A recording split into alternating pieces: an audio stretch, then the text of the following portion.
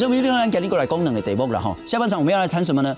在之前，台北市长柯文哲呢，用真的是很不雅的话，在批评不管是反年改或者脸书上跟他有不同意见的人，这件事情呢，还是在持续发酵。因此，下半场我们要谈两个部分，一个是说，这样子一个反年改的抗议行动，是不是真的踩到了很多人的红线？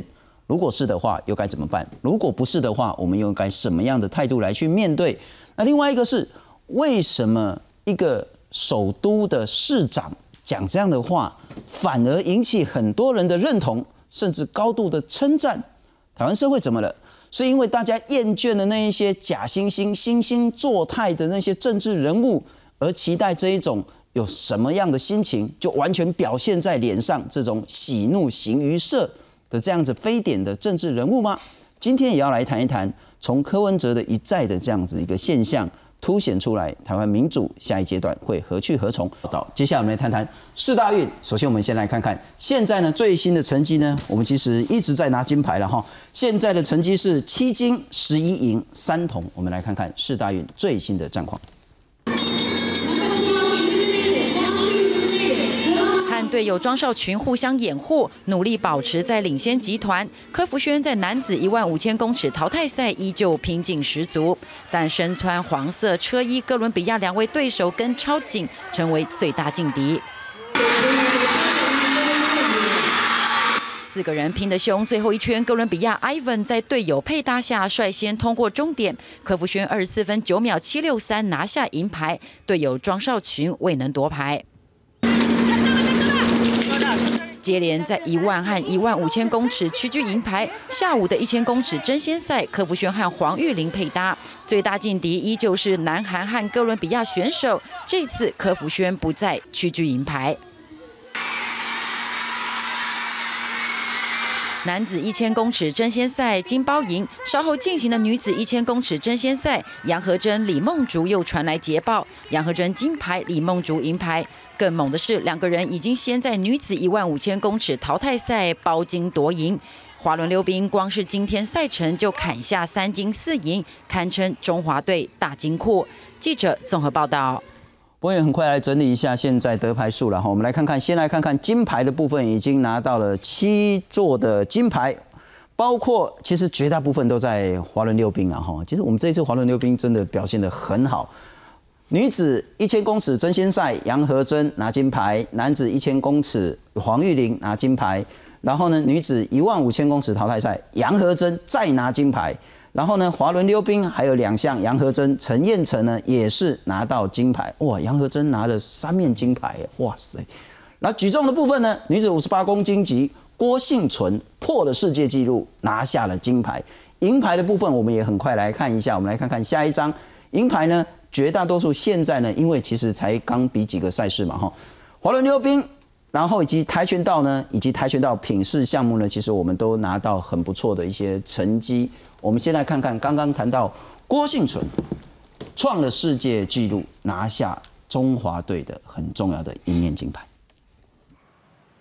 接传重心，别连，嗨奋力举起杠铃，郭幸存在挺举成功举起一百四十二公斤，打破中国选手邱红美高悬十年的世界纪录。郭幸存抓举一百零七公斤和总和两百四十九公斤，也都打破世大运纪录，成功把金牌留在台湾。我相信那个一百四十二公斤是，我相信那是全全台湾人民一起帮我举起来的。谈到当下的心情，一度哽咽。即使过了一夜，郭幸存情绪仍然澎湃，因为在二零一四年的仁川亚运前，练习时的杠铃砸伤大腿，严重伤势，经过耐心复健，又从里约奥运的挫败中重新站起来。自己成长了很多很多，然后不管是身体还是心理方面，就是我会很去面对我自己个人的问题，然后来去解决它。去思考自己，然后也借有这样的激励来去鼓励到青年的朋友，希望他们可以面对挫折，然后要勇敢的去去挑战自己。面对长期训练，还有各项国际赛事挑战，郭新纯自有一套舒压的方法。所以我那时候有买了一台钢琴，真的钢琴，然后放在国家训练中心里面。所以当我有呃，当我烦躁的时候，我就会去弹钢琴。然后那时候我一直记得，我第一首自己弹弹起来钢琴就是《铁达尼号》的主题曲《爱爱无止境》。透过弹钢琴和阅读励志书籍，郭婞淳找到举重的意义和生活的重心。接下来，他还要在2018印尼亚运和2020东京奥运继续用手中的杠铃感动全台湾。记者郑伟仁、郭俊霖台北报道。不，体育就是一个很奇怪的事情了哈。啊，明明我们也不会溜直排轮啊，更别谈说要举重。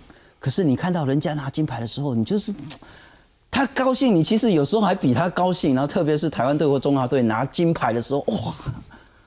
啊，所以这时候有人去闹场，就讲啊，你是在冲啥？就是打给个欢天喜地啊！就算失败没拿金牌，或者是打输了韩国队，我们也不会说就是真的要去唱衰或什么的。不过我想想请教徐正老师了哈。是。当然我们知道，就是说那个全教总跟那个开幕式的那样子的一个抗议毫无关联啊。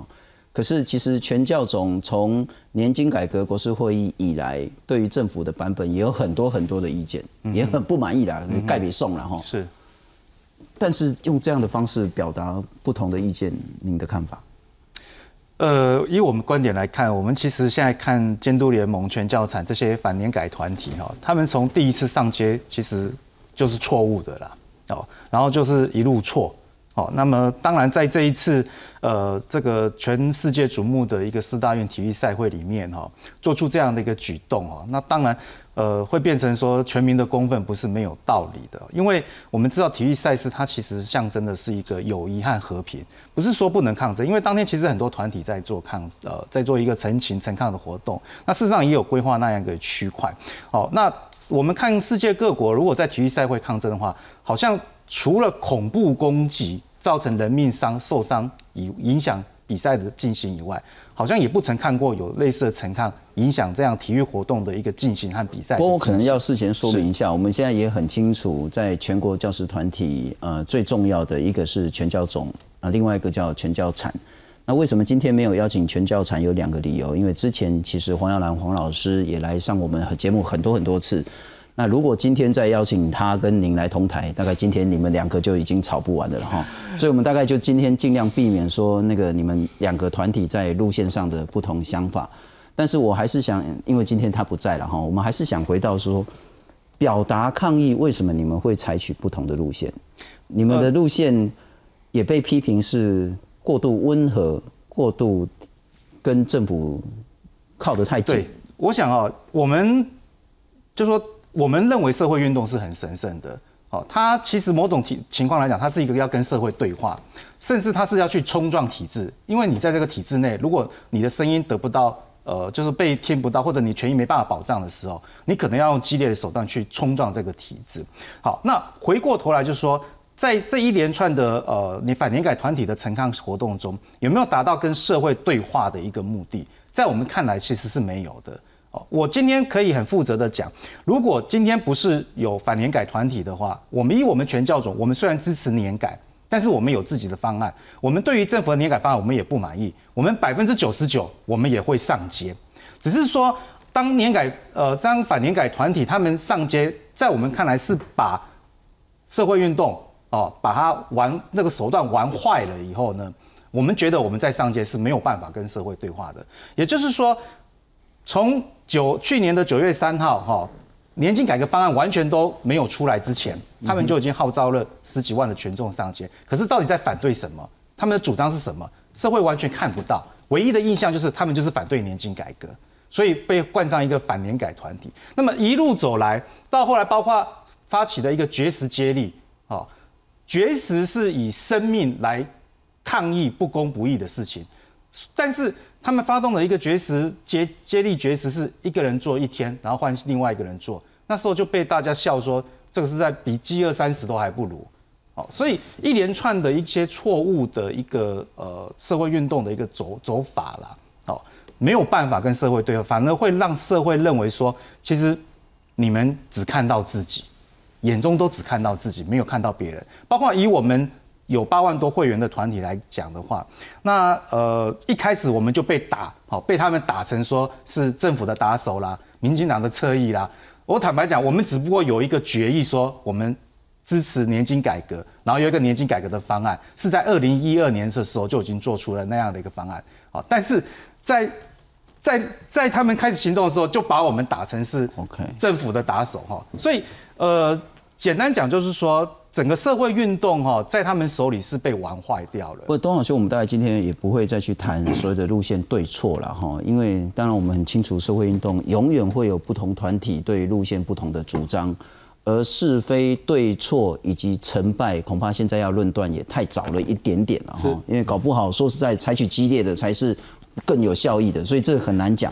但是我们从现在来去看。在三天前开幕式的那样子一个活动，那昨天那个召集人他也谈得很清楚，丢烟雾弹打警察都不是他们的。啊，如果查清楚是他们，他会道歉，然后，但是他现在认为不是他们，所以他是认为是被栽赃抹黑的。可是至少到现场去，然后最后的结果看到是运动员无法及时的入场，然后社会对有很多对他们的不谅解。到底那样的路线达到他们的诉求跟目的？你从结，嗯，这个东西就成败论英雄。从这个结果来看，你看到是呃这次的他们的抗争是失败的哈。如果不是失败的话，科批不会讲三字经之后获得四十八万个赞。那个不叫三字经啊，那个那不叫三字经。好，OK，国骂是不是？好，但但是你回过来看说。呃，就是说，为什么以前有些抗议它是可以呃获得社会共鸣的，甚至包容的哈？就是社会可以包容它，甚至我不赞成，我可以包容它。这里面有一个关键，就是说，呃，你知道体育赛事的抗争要特别小心，尤其像台对台湾来讲哈，我们已经很久没有这种国际赛事了。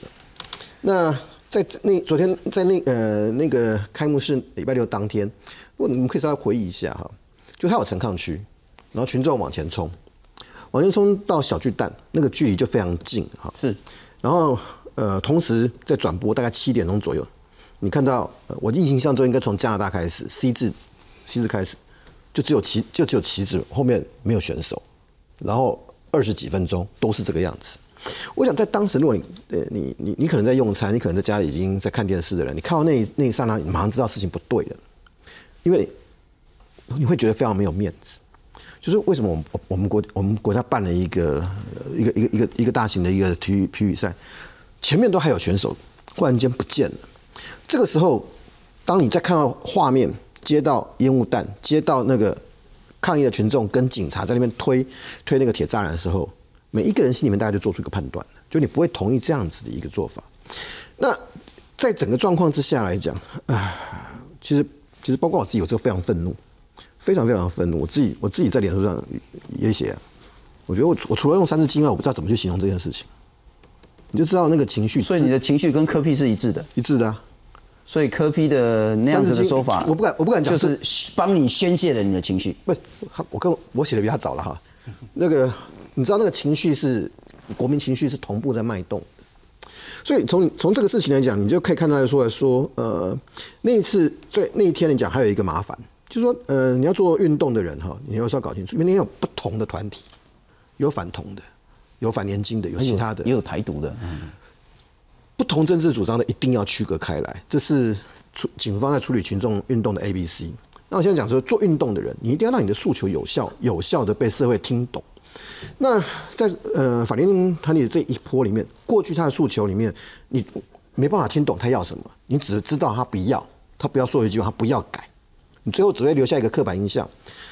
礼拜六当天晚上，当你遇到这样子一个画面，一边是只有旗帜没有选手，你会有一种丢脸的感觉。一方面，你在看到了烟雾弹，你看到了他们在跟警察在在拉那个那个锯那个铁铁栏杆的时候，嗯哼，任何人会有什么判断都很清楚。好，更糟的是什么？在后续，比如这呃这几天来，我们在上电视在做评论的时候，也会跟当天的一些人同台。所有人都是一个一句话：如果怎么怎么样，以前民进党可以怎么怎么样，这不是这不是在面对危机的时候的一个态方法，甚至啊，他把台独扯扯进来，就陈怡婷，那是很快的，网络上就比对出来了，时间点根本不对。是，可是在这个过程中，你完全看不到他们所有的人在呃所有的呃，不管是上电视或者接受访问的时候，他只会留下又留下第二个刻呃第三个刻板印象。什么印象呢？不是我的问题，这不是我的问题是，累的问题。是别人的问题，不是我要造成的，甚至说我是要来加油的。你知道那个话听了就很反讽哈，一个一个运动做到这样子的时候啊，它就会变得很小。那再加上李莱西，你知道他他等于是提火提油救火，所以整个一个结果就平均心而论，对斯大林我本来没那么看好。我认为说科批能够不犯错就已经是阿弥陀佛了。嗯哼。可是没想到出现了这个结果，这个结果让科批，我相信他未来会有一段时间的声望很好，会很高。因为我很少，我们很少看到政治人物，呃，讲出《三字经》之类的话，你还能够享有一个高的一个声望。不降反俱升，对，而且这个局哈，这个局大概可以维持一段。当然了，这个这个前提是说，在未来的这这些日子里面，他不能犯错，因为整个四大运还并没有结束哈。他如果犯了严重的错误的话，也会有反作反作用力。这体育活动哈，尤其是这种全国体育这种，呃，比如说我是五年级的，你知道小时候我们看那个棒球少棒队在威廉波特啊，或者是那些干，那个那个会让你产生一个共同参与的荣誉感。今天的四大运对台湾此时此刻来讲，也产生那个共同的荣誉感，那是一个群众心理。那反联改的他做了这件事情之后，我不是说他没有权利，他有权利陈抗，可是他有一条红线在那个地方。是是。我再举一个例子，呃，民进党过去，呃，曾经在陈玉林第一次来台湾访问的时候，也发起了在圆山前面发起了群众示威，在结束的时候，结束以后，有一群黑衣人跟警察发生冲突。社会里面也会有条红线哈，就是说这个冲突我账话算在谁身上，谁要负责？那时候蔡英文才刚接民进党党主席，后来国民党在讲蔡英文是暴力小英，其实从那件事情开始。那件黑衣人是蔡英文叫来的吗？当然不是。可是因为那个活动是你办的，虽然结束以后还是结束以后发生的哈，账会算在民进党头上，就是社会会有一个自动的归归类，就是说你既然要办这个活动，你既然要做这件事情。你相对应的，你有你的权利，相对应也有你的责任。所以你你你在看这件事情的时候，我只能讲说，我真的非常意外，意外这件事情啊，让人家不舒服，但是也很意外这件事，呃，反年轻的这些团体居然救了柯批，他把柯批的身世跟民进党之间的纠结，如果未来没有任何的 trouble 的话，这一件事情会让民进党在在台北市非常难提名。李老师，那就会有两个问题了。第一个问题就是先不谈是非对错，那因为也没办法厘清到底那个烟雾弹打警察到底，因为那个之后还要警方追查了哈。可是很明显的，在之后反年改的声音恐怕会受到很大很大的一些压制。是的，这是一个。那当然，这个立法已经三读过了，然后可是至少那个不同的声音要在表达，恐怕它的空间会变得小很多。这是一个。第二个更不能说有趣或耐人寻味，而是让人家费解的是说，一个首都市长，你放在任何的地方哈，当然川普又很不一样了哈，讲出那样话都是极为不妥的。对。但这是 A B C，可是当他是科批讲出来，而且在前天那个脉络下讲出来，马上。几十万个赞，马上大家说对，就是这样啊。然后马上有馆长说你叫小贾贺哈，我欣赏你等等的。嗯，那反映的是台湾什么样的一个政治文化？我们来看看，前天当柯文哲讲出那句话之后，对台湾未来将会造成什么样的好的或是坏的影响？在国家的这种重要庆典，你纯粹是来搞破坏的，王八蛋，对不对？就是柯市长的这句气话，让市大运开幕式遭骚扰一案又横生枝节。因为不满反年改团体在市大运开幕式现场抗议，造成各国代表团无法进场的窘境。台北市长柯文哲前天在记者会上多次严厉谴责反年改团体破坏国家庆典，更脱口说出不雅字眼，引发民众热议。有网友在柯文哲的脸书留言批评，明明是伟安的疏漏，市长却怪罪抗争人士，还引来柯文哲的亲自回复。神来一笔的留言，最多吸引超过四十八。八万人按赞，不过这则贴文稍早已被删除。柯文哲的强硬风格也引来不少批评。立委段宜康在脸书发文指出，这次市大运的维安工作由台北市政府掌握指挥权，全权负责却变成这副样子。柯文哲在大声骂别人之前，应该先骂骂自己人。国民党文传会副主委洪孟凯表示，市长不该用一句低俗的骂人用语，就想转移维安不利的焦点。反年改代表李来希更号召网友直接留言回骂。至于柯文哲的不雅用语是否有触法之余，律师邱显志认为，网友留言内容和柯市长的回应都可以让彼此互告公然侮辱，但会不会成立，还是要检察官考量双方言论自由保障及名誉权的伤害，才能决定是否起诉。布里老师就是说，政治人物不应该起不好的错误示范，这个是 A B C，可是 A B C 在柯文哲身上完全不适用。失效。哎，我想啊，这个这个事情呢，我分三个层次来看啊。第一个层次呢，我刚刚完全同意东豪所说的，就是说反联改团体呢，他们是在错误的时间、错误的地点，然后做这么样一件这个陈抗的动作。那么是大家都知道，事实上四大运可以说是相当于这个大学的奥运啊。那叫小奥运，小奥运，小奥运之称。那么难得台湾在主办这样子的四大运，这对台湾来讲，对台湾人来讲，这是国际空间的大事，台湾的国际空间大事。所以就好像说，这个难得你人生大事，对不对？你要这个娶媳妇，你要嫁女儿，这样的人大生大事有人来闹场，这个一定是会被大家举所诅咒的。那所以这个去闹场就是不对啊！我想这是这是大家的共识。但是问题是在这里，就是说。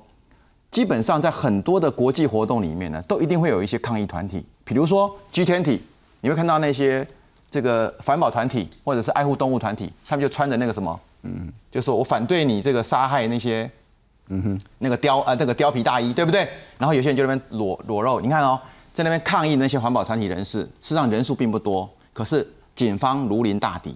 也就是说，在任何的国际赛事、国际会议当中，这个当地警察的维安工作。你有没有做到滴水不漏？这个非常重要，因为这事关到你的国际颜面。好，那今天你说从这个事情来看起来，台北市政府警察局有有没有责任？当然有责任嘛。你明明知道说有反反这个这个呃反联改团体，有有这个同同志团体，有这个台独团体在一起。当然同团那个台独团体可能是因为抗议科比一九两岸一家亲嘛，哈，好，可能是抗议这个。那么反联改团体是利用这个机会要给这个蔡政府难堪嘛，对不对？那既然这么多团体。那你事先有没有好好的规划好那个封锁线、那个管制线？然后呢，你的人力够不够？好，这个部分我觉得确实是维安出现了疏漏。那科批他这样子一骂之后呢，确实是有效的转移了转移了这个这个焦点。也就是说，我们并没有去思考说，你明明知道有人来要来陈抗，这么多抗议团体，那为什么每一好像好几次已经不是第一次了？就是说，台北市政府在处理这样的维安动作的时候。为什么老是出现疏漏？而在事后这个脸书上讲这三个字，我必须要讲，这是我第三个层次的问题，就是教育的问题。我们怎么样教育我们下一代？现在的年轻人，各位如果有机会去看我脸书或者看耐群主，叫做干声连连。我不晓得 主持人或者你有没有经常去看一些年轻人的 PPT 或者什么，他们经常就把这个三字经国骂当成是习惯用语。在那个台大 PPT 实业坊，或在他们的这个 Line，或者是在这个他们的这个脸书上，有时候当成习以为常，你知道吗？只是说他把他认为这是一个问候用语。嗯哼。那如果假设对方对他有敌意的话，也许会告他。那他他就是因为说啊，这大家都是自己人，所以他就随便干声连连。我说真的，这个是非常错误的教育示范。啊，今天不是说你不爽，然后呢就这个粗话就骂出来。好，那更何况这个王八蛋这三个字是是隐喻是人家是杂种。这个这个作家曾经有讲过嘛，他是那个什么那个那个什么那个呃母母乌龟外遇的孩子，就是杂种嘛。所以讲这个话是是是基本上是一个非常错误的教育示范。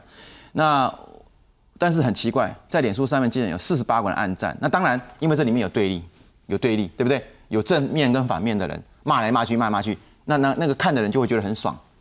所以当然四十八四十八万赞，我觉得那那不以。这个不以为为奇，但是我觉得这是非常非常负面的一个教育。我觉得未来哈，台湾应该还是不要用这样子这种民粹操作的方式啊。我觉得应该还是要进入比较理性思考的社会。我觉得台湾应该走到这个地步。不过徐正老师，我也许试着站在呃部分反年改人士的心里面来想事情，是说年改国事会我也参加了，嗯，那我也用尽了所有的力气去嘶吼。去讲我的意见，我反对的地方，然后我所有的言语呢，完全不被采纳，完全不被尊重。然后呢，之前蔡总统说，我如果第一次听不到，你可以再很大声的喊第二次、第三次。他们喊了几百次，蔡总统完全视而不见。所以他们就只好只如影随形的，有任何的场所能抗议，那也许时间点跟地点不太对，可是他只是唯一能够抓取的机会，有别的机会吗？就算你们用所谓的比较温和的路线，最后年改还是照民进党版本改过了。诶，事实上我们有蛮多主张在这个年改法案中实现了，哦。那当然，大家比较知道的是说，我们把教师退休起制年龄从六十五岁下修到六十岁，又再下修到五十八岁。哦，那事实上还包括这个呃退抚基金，就是改革后节省基金全数道路，它其实是反来反去的。哦，六都的我们知道，六都的市长都反对地方的十八趴节省经费道路到哦改革后节省经费倒入到退抚基金去，但是我们还是成功的把它。全部就最后的法案还是把它全部倒入退补基金去，好，所以虽然是说那个是民所谓的民进党版本，哦，但是我们从二零一二年开始主张年金改革，我们有很多主张是在这次的方案中是有被落实。所以你认为透过体制内的这些沟通或者是澄清，它才能够真正达到所谓的对老师的权益最大的保障？呃，我如果今天是由我们来主导。呃，这个年改的一个社会运动，包括街头陈抗的话，我们相信我们还可以争取到更好的一个方案。嗯哼，好，但是很可惜的就是，呃，就是因为最后声音都是被这个反年改团体所取代嘛。我我就讲说这个呃，公教对于反年改团体的一个看法了，尤其是这一次这一次八一九的事件哈，我那时候其实我不在看电视，我在外面，但是很快的我赖群主就出现了很多我们地方。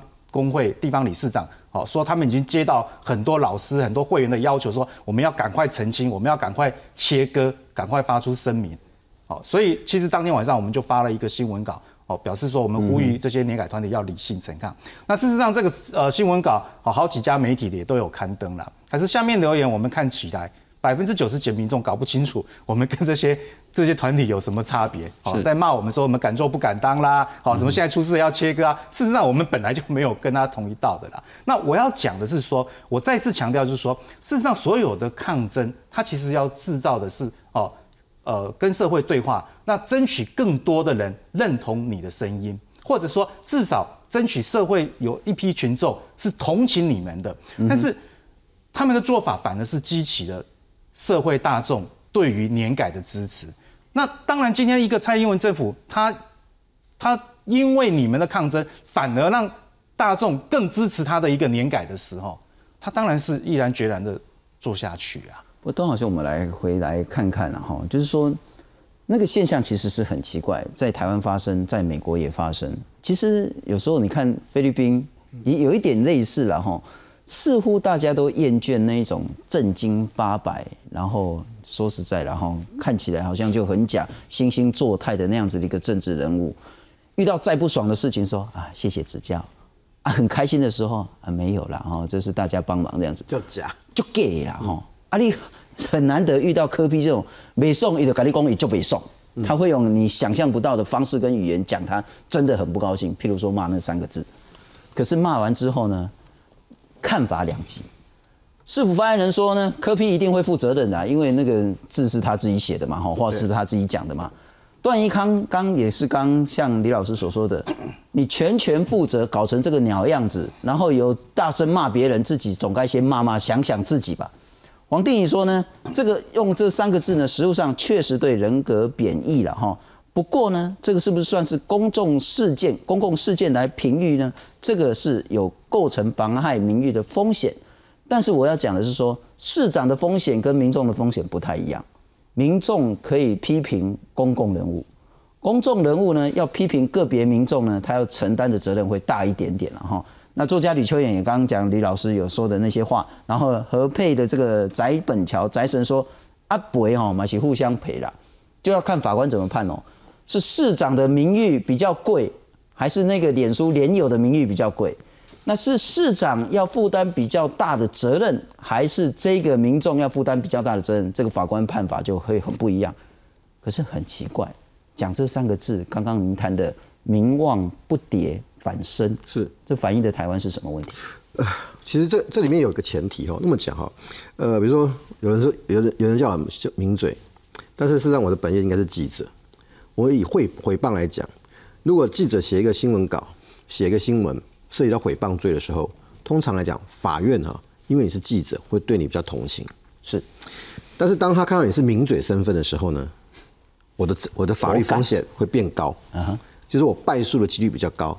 一样一样哈，那你你看到这“三字经”这三个字，像我自己在脸书上面，我就知道啊，我不能直接用那三个字啊，所以我用“三字经”啊。那“三字经”是不是国骂？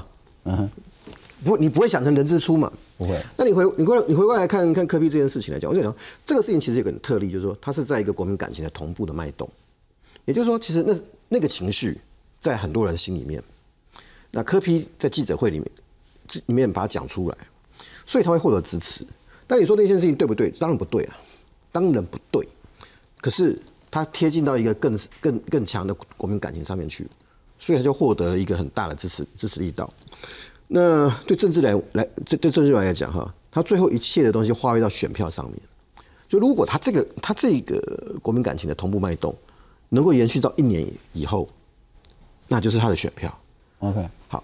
但是四大运当然会结束，然后这中间，呃，随着时随着这个情绪会沉淀，慢慢会有些事要被检讨出来。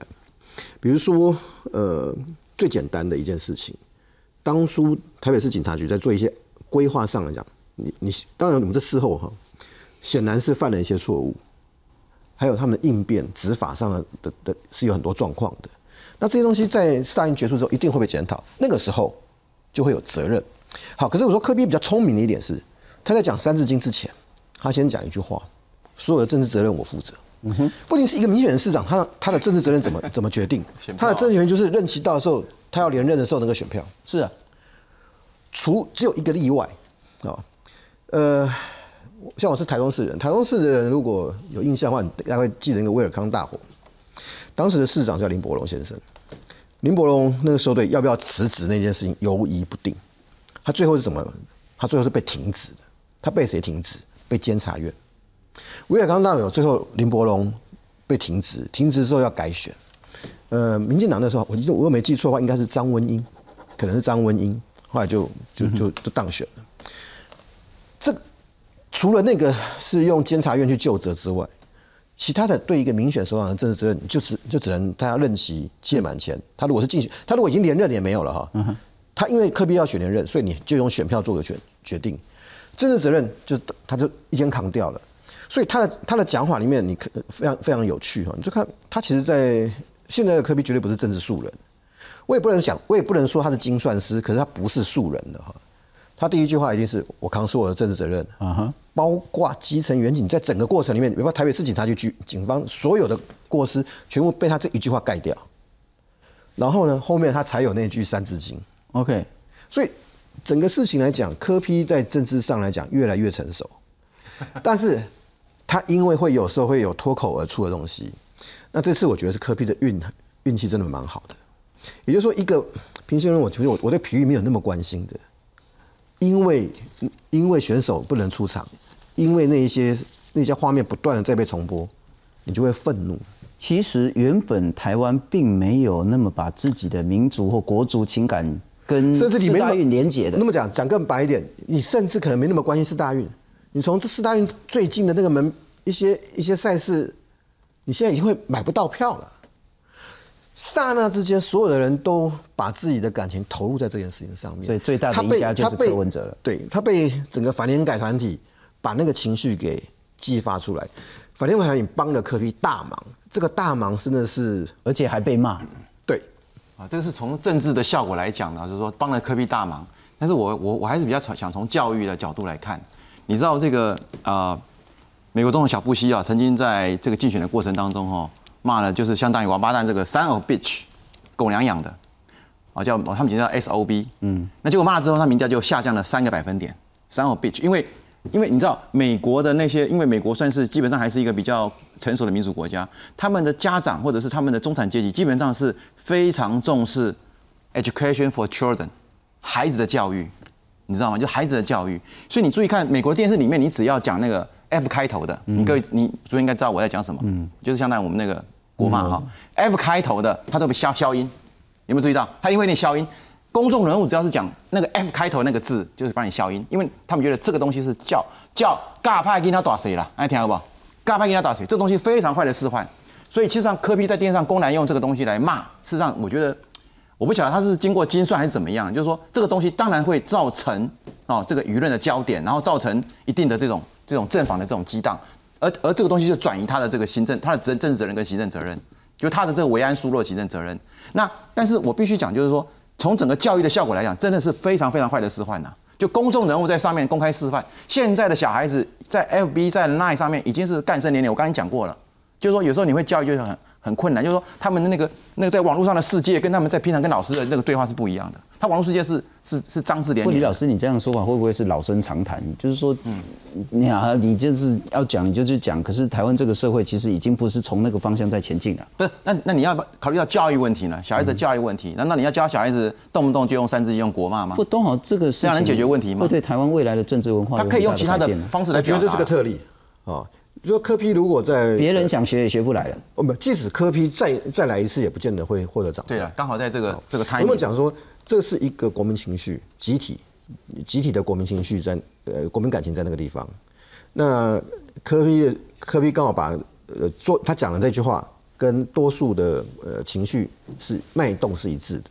可是你换了其他场合做这件事情的话，就会像小布希一样。对啊。小布希，我我记得他讲的时候好像是针对记者还是谁？对，South Beach，他就就他讲一个白宫记者还是还是那个绝对有场合的，就这个事情绝对是特例，绝对是特例。就像科比，呃，他在刚刚选举的时候讲错话的时候，他要干嘛？马上要先道歉。嗯哼，所以他还是有一个游戏规则在那个地方的哈。那至于说你说呃这个事情会不会说对呃呃学生的学习或者年轻人的学习会怎么样？因为学习是很多元的了哈，是。那是不是每一个人都会把网络用语用在自己的生活上？哦，不一定。但是对科批来讲，就是说他是指标性的人，就是你你是一个台北市市长啊，所以他那么讲，呃，简单讲，如果今天那个杨小姐要去法院告打官司的话，我刚才用为什么用我自己做例子，就是说杨小姐如果到法院打官司，我相信法官会判科批输，当然好赔。那杨小姐不一定会输。甚至就算输也赔很少，可是对科比来讲，嗯，从政治效应上来讲，就算输他都赚。现在最最吊诡的一件事情就是，科批就算因为这样被控诽谤要被罚钱，他还是会赚到。为什么？因为这个四大运跟国民感情，整个国民全台湾的人民多数把他的感情跟这件事已经合为一了。那在政治上这就是一个大得分。科比有算计吗？未必。我觉得他是脱口而出，可是。有一件事情他是有算计的，他知道说要先讲所有的政治的责任我扛，他难道不知道台北市警局有问题吗？我相信他是知道的。以上节目可在公视网站加期服务影音网随选观看七天，好节目不错过，公视加期让精彩继续。台湾第一颗自主研发高解析度遥测卫星福卫五号，预计台湾时间八月二十五号凌晨两点五十分，在美国加州发射升空。五号最大的特征就是到现在我们终于突破了，就包括我们的主啊主观测的这个所谓叫做遥测筹载百分之百自制。福卫五号如何执行国土安全防灾勘灾？如何带动太空产业？请锁定八月二十四号，有话好说。